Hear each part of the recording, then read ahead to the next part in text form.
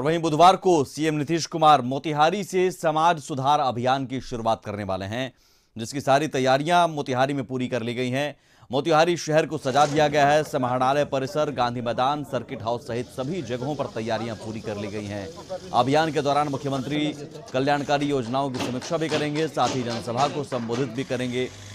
बताया जा रहा है कि जनसभाओं में जिलों की जीविका समूह की महिलाएँ भाग लेंगी, जिसमें पूर्ण शराबबंदी अभियान, दहेज प्रथा उन्मूलन, बाल विवाह मुक्त अभियान से संबंधित राज्य सरकार की नीतियों की चर्चा की जाएगी। साथ ही इसके लिए लोगों को जागरूक भी किया जाएगा।